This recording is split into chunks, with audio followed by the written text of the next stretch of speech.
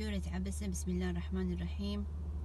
He example the Prophet frowned and turned away because there came to him the blind man.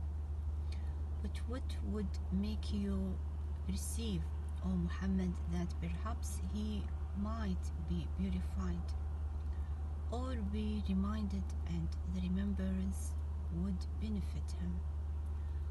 As for he who thinks himself without need, to him you give attention, and not upon you is any blame if he will not be purified. But as for he who came to you thriving while he fears Allah, from him you are distracted, no indeed they. So whoever wills may remember. Remember it. It is recorded in honored texts, exalted and beautified, carried by the hands of messenger angels, noble and du- dutiful. Destroyed is man, how disbelieving is he?